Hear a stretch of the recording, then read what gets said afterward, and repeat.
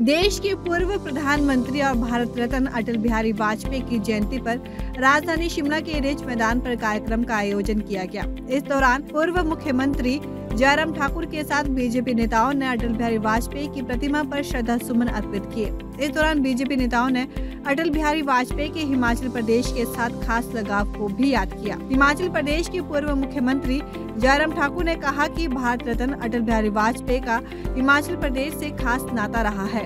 वे कई बार हिमाचल प्रदेश आए, अटल बिहारी वाजपेयी हिमाचल को अपना दूसरा घर माना करते थे। जयराम ठाकुर ने कहा कि अटल बिहारी वाजपेयी का हिमाचल प्रदेश के लोगों के साथ खास नाता था। अपनी भिन्न कविता, शैली और वाकपटुता के लिए पक्ष विपक्ष के लोग उन्हें घंटों बैठकर सुना करते थे। उन्होंने कहा कि अटल बिहारी वाजपेयी हिमाचल प्रदेश के लिए बेहद खास जगह रखते हैं।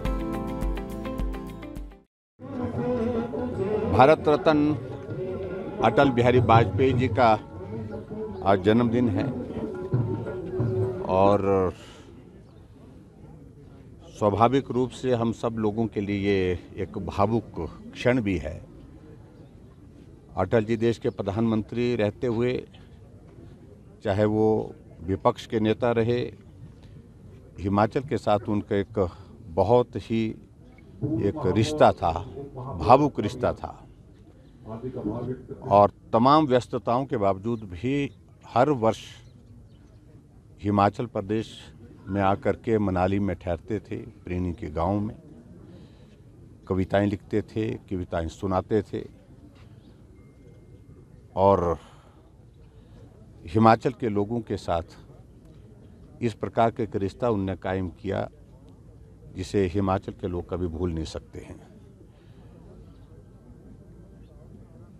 बतौर प्रधानमंत्री अटल बिहारी वाजपेयी जी का देश के लिए एक बहुत बड़ा योगदान रहा।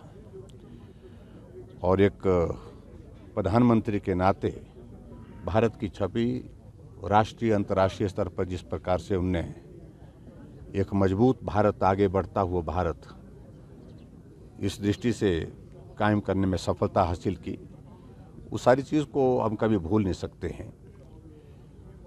उनके योगदान को आज पूरा देश स्मरण करता है।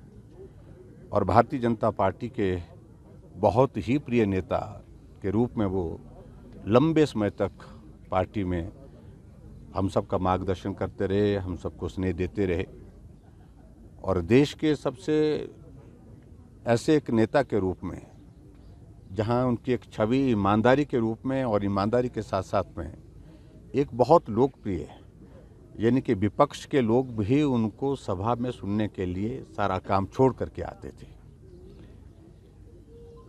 ऐसे नेता जिनका हिमाचल के साथ इस प्रकार का रिश्ता है, रहा है और स्वाभाविक रूप से हम उनके हिमाचल के साथ इस स्नेह को भी नमन करते हैं और उनके योगदान को भी स्मरण करते हैं जो भारतवर्ष के लिए उनका रहा है।